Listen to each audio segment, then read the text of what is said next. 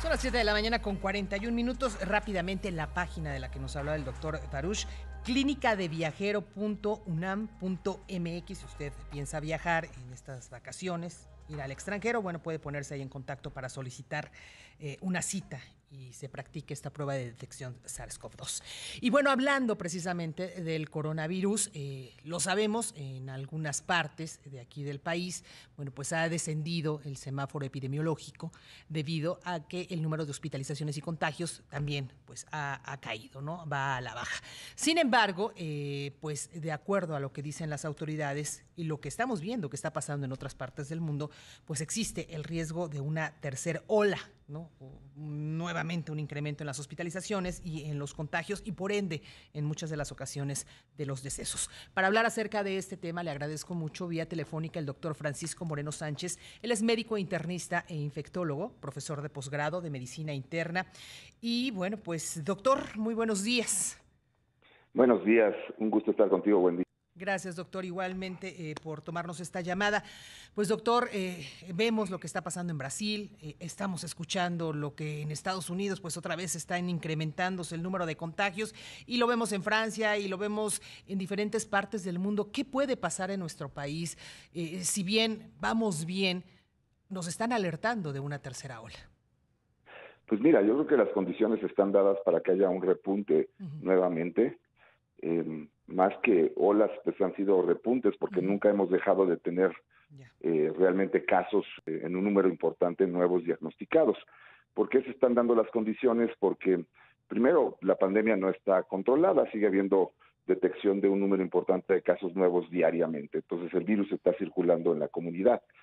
Segundo, no tenemos un porcentaje de vacunados alto, si acaso llegamos al 6% y no con dosis completas.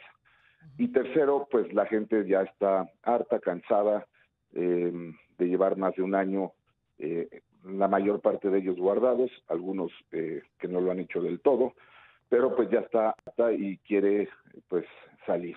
Y todo esto pues lo que favorece es que cuando salen disminuyen las medidas de protección y esto pues provoca nuevos contagios. A la semana provoca que haya una alza en hospitalizaciones, y a las dos semanas pues una alta en excesos. Eso lo hemos visto a lo largo de la pandemia y pues creo que las condiciones están dadas para que esto vuelva a pasar. E, e, en el caso de este repunte, doctor, ¿sería con esta variante eh, de SARS-CoV-2 que hemos conocido desde un principio o sería una nueva cepa la que estaría acechando en estos momentos? Pues mira, esa es otra de las situaciones que desafortunadamente en México, al igual de no tener pruebas básicas de para detección del virus, pues se hace muy poca secuenciación. O sea, se habla de que se han hecho alrededor de 700 secuenciaciones, cuando en lugares en Estados Unidos hay mil en un día. Eh, 700 secuenciaciones en, en, todo lo que va del año de la pandemia, pues no nos deja saber realmente cuáles son las variantes que están circulando en nuestro país. Seguramente son las nuevas variantes, porque pues eh, en otros lugares donde se ha realizado esto en forma continua, sabemos que menos del 1% de las eh, de los casos diagnosticados son provocados por el virus original de Wuhan. Los demás ya son por variantes que pueden ir desde pocas mutaciones hasta la variante eh, de Inglaterra que tiene 23 o la de Brasil o la de Sudáfrica o la de California o esta que se ha hablado que existe en México que es la B122 pero pues no se habla mucho de cuál es la repercusión clínica de ellas pues porque como todo en la pandemia seguimos navegando a ciegas.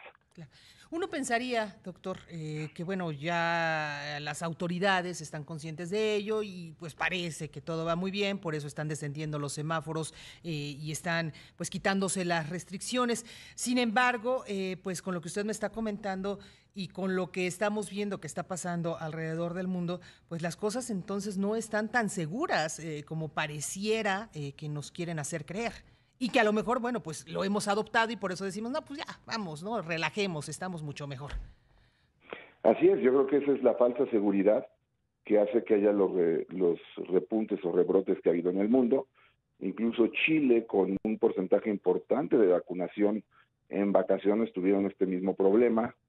Y si le sumamos que, por ejemplo, ahorita en España se acaba de avisar que va a haber mayor restricción eh, mayores multas a las personas que no usen cubrebocas, cuando aquí en México pues la misma autoridad no lo usa, pues el mensaje, eh, la comunicación que tenemos hacia los ciudadanos pues es es muy confusa. Y pues lo mismo sucede en este momento. Creo que estamos viviendo lo que hemos vivido durante los últimos 13 eh, meses desde que llegaron los primeros casos a México. Es triste, pero pues eh, como médicos vislumbramos que viene un nuevo repunte en las próximas semanas.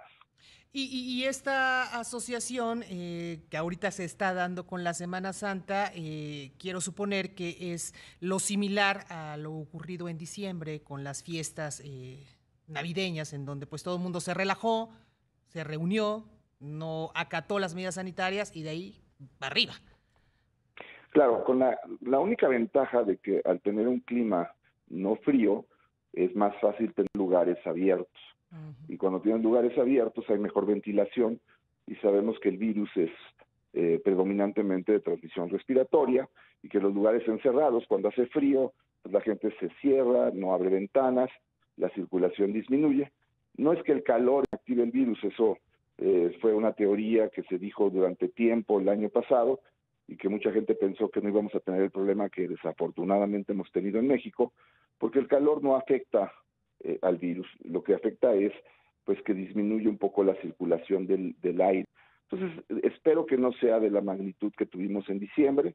También debemos de tener una inmunidad importante en la población por esas mismas cifras eh, altísimas que tuvimos en diciembre, pero, pero el caso es que volvemos a tener un repunte cuando vienes teniendo una tendencia clara hacia control. Y esto es porque las medidas de prevención no se hacen obligatorias. Claro. Pues finalmente, doctor, eh, le preguntaría y, le pediría recomendaciones a quienes nos están escuchando ante esta situación que estamos viviendo. en casa y, disfrutar la tranquilidad de eh, la casa y tu familia, eh, hazlo. Si vas a salir porque las condiciones lo requieren, pues entonces extrema precauciones, usa doble cubrebocas, trata de evitar lugares eh, concurridos, si vas a convivir, trata de que no sea con más de seis personas, eh, trata de mantenerte todo el tiempo con una buena higiene de manos y eh, pues cuidarnos, porque al final del camino, mientras más sales, más medidas de prevención tienes que tomar. Eh, desafortunadamente las condiciones se dan para que uno salga, eh, llegue a una fiesta, con dos tequilas se quite en el cubrebocas, si es que lo llevaban, y bueno, pues entonces sucede las tragedias que hemos estado viviendo desde hace tanto tiempo. Perfecto, pues doctor, yo le agradezco mucho esta conversación y pues está en manos de todos lograr que esto termine, no solamente en las autoridades, en las medidas restrictivas, en todos, en cumplir con las medidas sanitarias, pues para salir más rápido de todo esto. Muchas gracias, doctor. Gracias y a seguirnos cuidando. Gracias, muy buenos días. El doctor Francisco Moreno Sánchez, médico internista e infectólogo, profesor de posgrado de medicina interna. Una pausa, seguimos.